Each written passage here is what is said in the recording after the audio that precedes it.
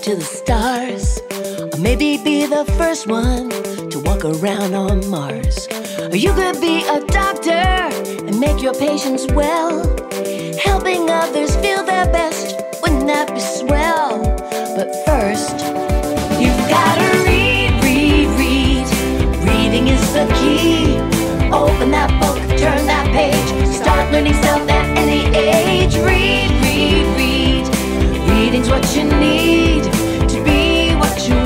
To be.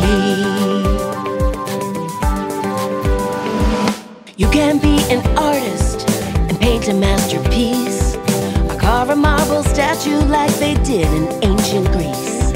Or you can be an engineer designing jet airplanes, maybe build a rocket. You know you have the brains, and you can use them to read, read, read. Reading is the key.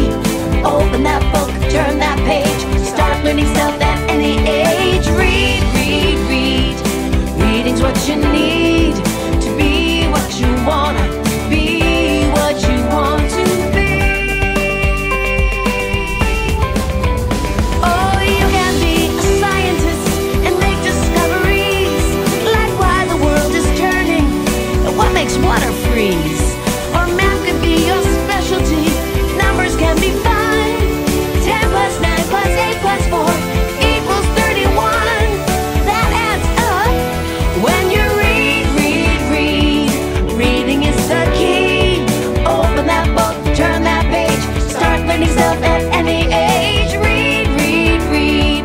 Reading's what you need